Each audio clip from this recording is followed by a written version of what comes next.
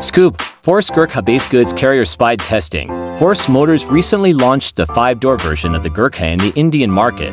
Well, two more iterations of the Gurkha are in the works. Last month, a dual cab pickup was spotted, and now there are spy images of a goods carrier. The Gurkha-based light commercial vehicle LCV was spotted testing in Pune. While the front looks like a Gurkha, the rear section has been replaced with a large loading bay. The test mule is also fitted with the same 5-spoke dual-tone alloy wheels that are offered on the SUV.